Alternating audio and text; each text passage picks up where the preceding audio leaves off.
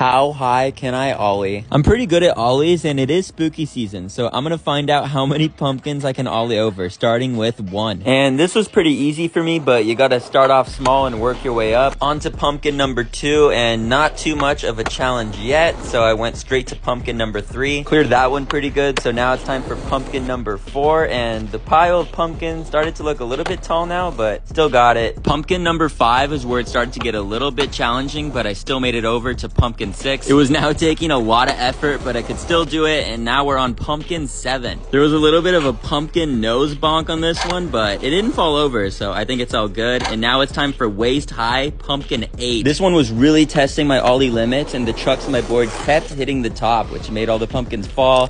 Had to put them back up. But after a bunch of tries, I finally got this sketchy one. And I'm not 100% sure if it counts, but I'm gonna take it. And that is